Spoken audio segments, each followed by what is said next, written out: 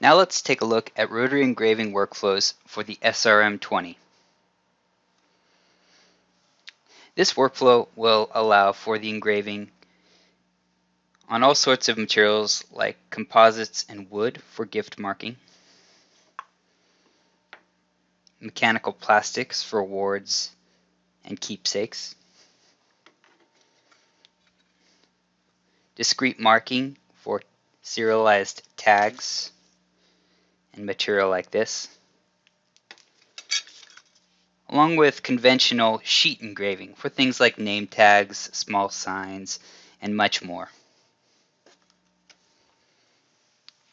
As we review the engraving workflow, we will go through tool setup, material loading, setting the origin, and a simple job setup and output to the machine. To get started, we left off with the accessory installation kit, briefly reviewing the tooling options for this machine. Now if you recall, there is a diamond scribing tool and a V-bit option. Currently we will be using the V-bit which was left uh, in the spindle from previous video. But if you need to add a tool or change it out for any reason, again it's very simple. We will use our 17 millimeter spanner to hold the spindle, our 10 millimeter wrench at the bottom to hold the collet, and turning in will loosen, turning out will tighten. One other thing to note here is that I have about an inch of exposed tool here just to ensure that I have enough reach to uh, make contact with my engraving material uh, and enough to really hold the shank within the collet itself. Make sure you have the collet nice and snug to ensure that the tool doesn't rattle loose or adjust during operations. Following the tool setup, let's take a look at loading material. We left off with our AS10 sheet uh, secured to our bed here with our indexing fixture on the left. Let's go ahead and remove the liner of the AS10 sheet.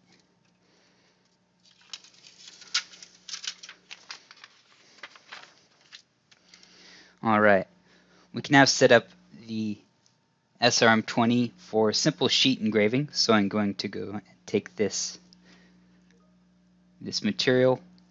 Uh, by the way, this is a two-tone material. We have red on top, white underneath, and we'll be cutting through the red to reveal the contrast of our graphics. We're going to nudge this into the corner of that indexing fixture, place that like so, and then give it a nice press to to ensure that it is secured to the bed. Next, let's go ahead and use the SRM20V panel to jog our spindle to the origin point. Now for this uh, engraving example, we're going to set the origin at the bottom left, so we can go ahead and use the directional arrows of the V panel to get our tool there. By default, uh, our jog steps for the V panel are pretty slow, so I'm going to adjust the cursor steps right below the directional arrows to continue. And that will allow me to uh, more quickly move to my intended origin point. Alright, so now that you can see I'm in the ballpark, uh, we want to set our XY origin to the bottom left of this material with our tool just touching the tip of the engraving surface. So now that I'm within range, I'm going to adjust my cursor steps down so that I have a slower, more accurate movement.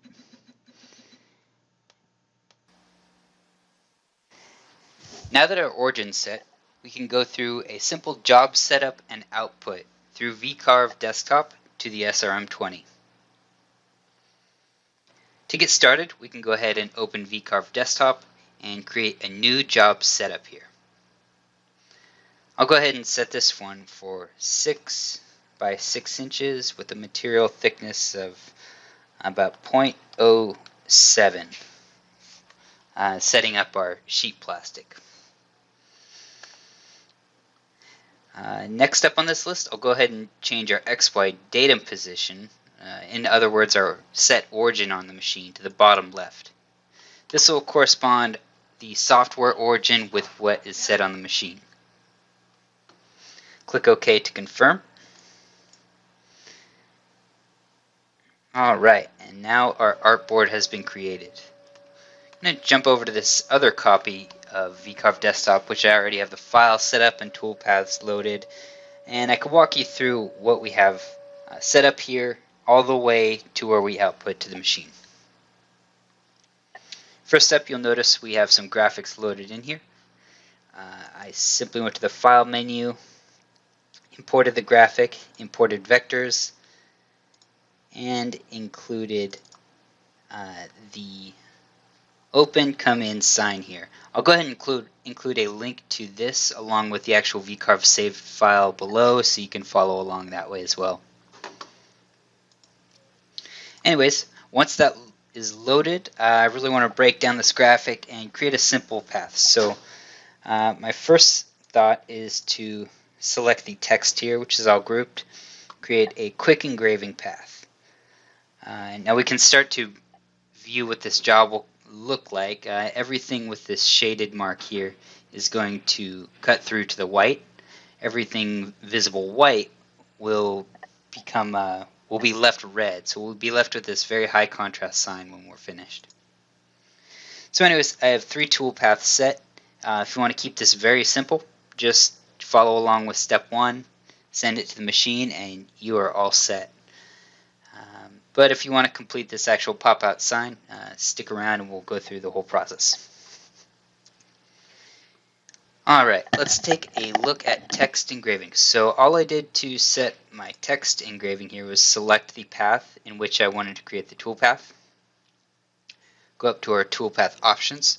Uh, in this case, I'll go ahead and select Quick Engraving Toolpath. And that will prompt our setup for this toolpath. First up, we want to select the tool in which we seek to use. I'm going to go ahead and select the Select option and you can see I've preset an engraving tool here. Uh, I'll, I'll go ahead and include a link to this tool if you'd like to load it in. I'd recommend that just because it is spec'd off of the tool included with the uh, engraving accessory kit so you can match up everything. Now you can follow along and create your own tool right now uh, using these values, but it's basically setting the tool geometry uh, to what we have loaded within the system. So once we have our engraving VBit selected, uh, I'll go ahead and hit select, and that will save our tool for that toolpath. Below that, we will see the depth, and this is the depth in which we seek to remove engraving material. Uh, so I'm just going to go about 0.02 inches, enough uh, to cut through the red plastic and create some dimension, but not too much to where we risk punching through the back of the material. Everything else uh, we can leave defaulted here. Uh, but one of the big ones will be setting the machine in which we seek to output to. So you'll notice that I have these post processors listed in this field. Basically, you can open up the post processor list, browse to the Roland devices here, and find the SRM20. Note that there are two SRM20 post processors.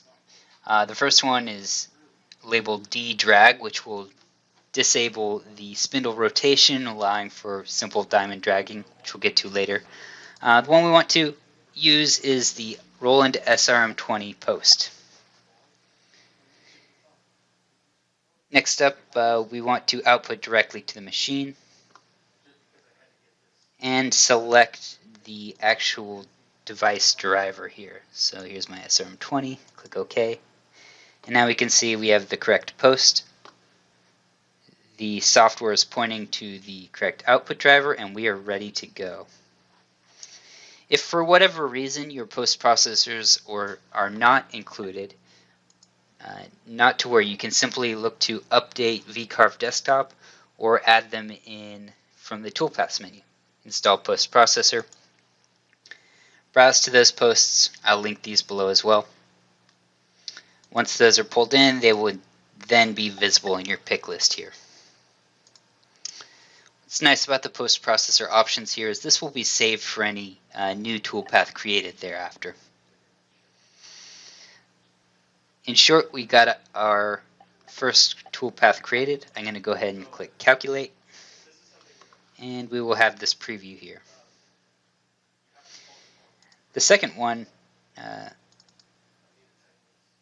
the second toolpath here I have created, we'll go back to our 2D view, and I grabbed our outside two paths. So what I'm looking to do here is just create a, uh, a beveled inset for the sign, which would uh, reveal as white.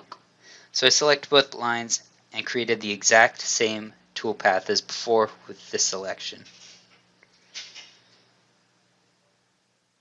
So nothing changed here. Uh, it should inherit all the properties if you create this one right after. Want it to be treated as a separate operation. Uh, that's why I arranged it accordingly. Go ahead and confirm the driver output and we will go ahead and calculate this one too. delete this auxiliary toolpath, so don't worry about this.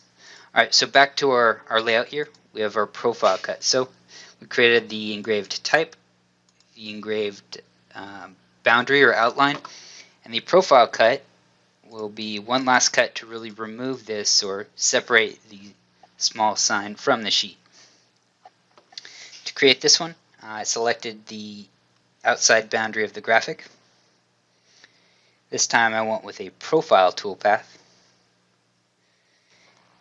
And we'll go through the options here. So first up, I'm going to set the entire depth, which is 0.07, just slightly outside of the material depth. So we're, we're going to punch through our sheet stock here uh, in cutting this out. Below that we can select our tool here. Uh, I plan to perform all of the engraving with a single tool, so this should be matched up on each. Uh, two passes for this. Uh, I'm going to go ahead and up this to three passes in total, and that's just how many uh, paths, uh, how many times it will loop around this to create that actual cut path. Uh, you can change the vector, whether you want this cut line to be on the line, inside, or out. We have some advanced app options, which we won't get into now. Uh, but once you have that set, again, your cutting depth, your tool, and your passes uh, being the most important here, go ahead and calculate that out and return to this screen. Now with everything uh, created here, we can go ahead and move to the the preview option. see that highlighted here. Uh, this will open the preview toolpaths window and I just want to preview all toolpaths. This will provide a nice option to uh, inspect our engraving here. So if there's any unusual uh, results in the rendering here or anything doesn't look right, it will allow us to go back and correct the toolpath before actually investing the time or material into this job. In any event, everything looks good here, so I'm going to go ahead and click close we can go to the Save Toolpath option and we can prepare this one for output. output. So final stretch here, uh, a few more options for our output here because we're combining all these toolpaths. Uh, we want to select the option uh, visible toolpaths to one file. So we're going to output one file to the machine, come back to a finished job. That's the idea here. Uh, it gives us a confirmation of our our tool paths and our tools used, so it's going to run through all of these as it should. Uh, we're going to adjust that post processor to the SRM20. Confirm that we're outputting directly to the machine and that our appropriate driver is selected. At this point, all there is left to do is output to the machine. So I'll go ahead and do that now, and we can check in on the engraving shortly. All right, we're now back at the SRM20 engraver following the engraving uh, workflow video setup. Let's now take a look at our results. So I'm going to come over to the machine here. uh, we've parked this machine in the home position, or of course you can hit the view button on the SRM20V panel.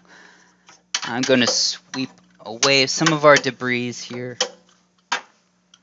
Use an old engraving tool and then just remove this from the AS10 sheet. All right. All right, now our little plate is popping right up, coming out of the machine.